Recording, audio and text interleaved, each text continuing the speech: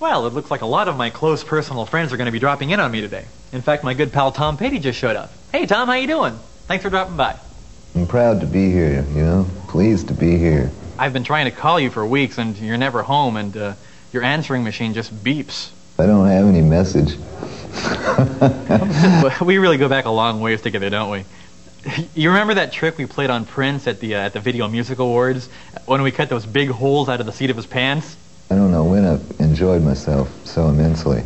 Or, or when we held down Sinead O'Connor and shaved off all her hair? But it, I, I, I mean, I don't know when I've had so much fun. and remember when we did the thing with the thing, and he took it away, and he couldn't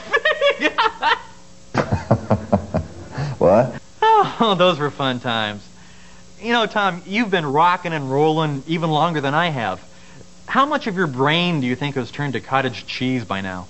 99%, I'd bet. I've heard some pretty kinky rumors about you. Uh, for instance, I've heard that you dress up your roadies like Girl Scouts and make them run around your backyard barking like dogs. I do. I go out and watch them every night. Okay, wait a minute. I got a joke for you.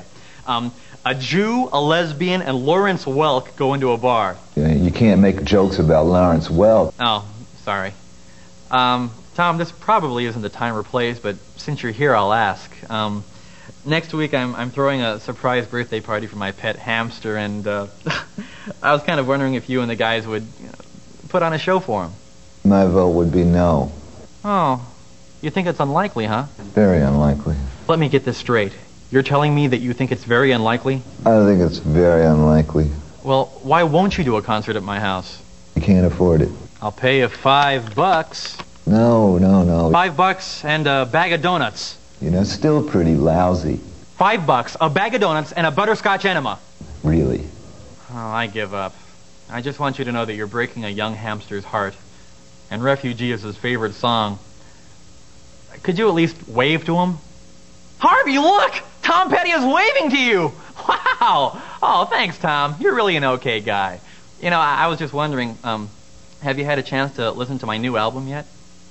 Yeah. Well, what did you think? God, it's boring. I mean, it's really, really boring. Okay, well, thanks for dropping by, Tom. We really got it. It's bullshit. It sounds awful. Tom Petty on Al TV, ladies and gentlemen. What a guy.